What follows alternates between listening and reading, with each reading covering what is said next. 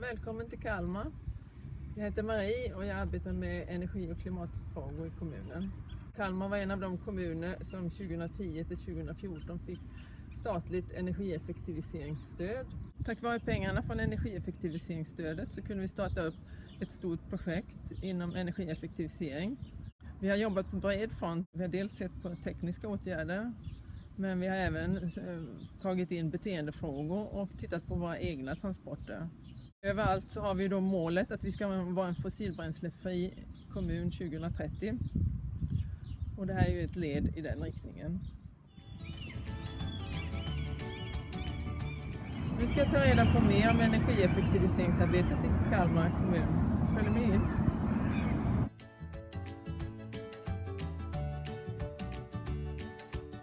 Här pågår ju ett stort energitjänsteprojekt som vi skulle vilja fråga mer om. Vi har ju ett budgetmål att vi ska spara 20 procent av energin i, fram till 2017. Och det gör vi i huvudsak med tekniska åtgärder. Vi jobbar med ventilation, vi jobbar med vattenbesparing, vi jobbar med isolering och värmesystem och så vidare. Men det räcker ju inte fullt ut. Eh, därför så ligger det även ett budgetmål att vi ska jobba med beteendefrågor.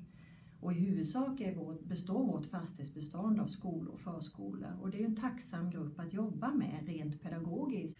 Så då tog vi fram en, en energismart låda, har vi valt att kalla den, och eh, riktade in oss mot vaktmästarna som är nyckelpersoner ute i verksamheterna. Vi utbildar dem inom energibesparing och de har fått den här eh, lådan med lite olika verktyg för att kunna jobba rent praktiskt. En elmätare, en fördelardosa, lite sådana här små saker som som kan väcka intresse för frågorna. Och tanken är att den här ska finnas i personalrum och så vidare så att eh, även pedagogerna kan använda den i sin undervisning när man pratar om energi. Är det några lärdomar du vill förmedla till andra? Det är att inte släppa taget. Det här är ingen engångsföreteelse. Det är ett arbete som hela tiden ska fortgå och genomsyra organisationen. Väldigt viktigt att målet är tydligt förankrat ifrån ledningen så att organisationen kan utbilda sig, skaffa kunskap och fortsätta och, och, och tänka energieffektivitet. Eh, vi gör inte bara en åtgärd och sen är det klart, utan det är ett helt nytt arbetssätt, ett helt nytt tänk som måste fungera från projektstart till, till så länge byggnaden lever.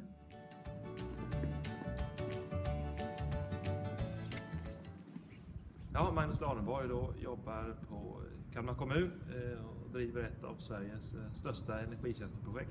Om du nu skulle ge råd till några andra kommuner eller organisationer som funderar på energitjänsteprojekt, vad skulle du säga då? Ja, det gäller ju att man tar god tid på sig och, och, och tar sig tid som beställare, att man hinner med projektet för det kräver mycket resurser. Man får även mycket ut av det man lägger ner. Ja, det har satt fokus på energifrågorna och, och fokus på underhållsbitarna på byggnaderna vi har. Att eh, politiken har fått upp ögonen för, för fastighetsbeståndet och dess skick. Och även organisationen internt och att man eh, sätter lite mer fokus på frågorna. Och det viktiga är ju att man eh, fortsätter jobba aktivt vidare med eh, energifrågor hela, hela tiden.